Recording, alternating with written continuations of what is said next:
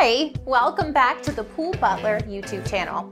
In this video, we're going to spotlight one of our most recent blog posts. So, without further ado, Robert, take it away.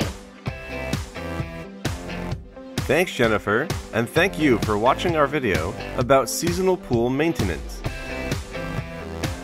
It may only be March, but those occasional warm days are coming more and more often. If you haven't been in your pool in a while, you may be thinking about it very soon. But before you dive in, it's good to do an all-around check and make sure that your pool is ready to go for swimming season. By following a checklist of pool maintenance items, you can be sure not to miss a thing. The professionals at the Pool Butler want to make sure you get it right. So here are some of our suggestions for a full seasonal checkup. The first thing to check up is O-rings. The last thing you need is a sticky O-ring that refuses to budge. Make sure that the O-ring on your pump lid is well lubricated. You can read the full blog post entitled Seasonal Pool Maintenance on our website at thepoolbutler.com. We have a link directly to this post under the video in the description box. In addition to our blog, be sure to check out the rest of the Pool Butler website we have over six sections dedicated to helping you learn more about us and why we are the absolute best choice for all of your swimming pool maintenance, cleaning, and repair needs in Atlanta.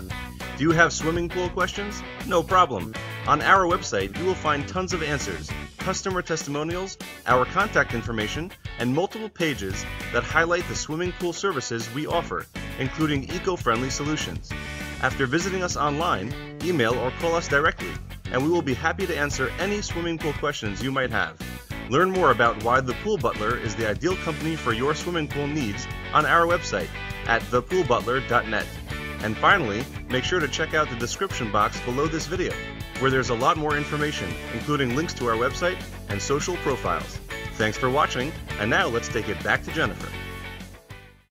Robert. Now it's your turn. If you like this video, click on the thumbs up icon and on the subscribe button below this video. After that, make sure to check out the description box where there's a lot more information, including links to our website and social profiles.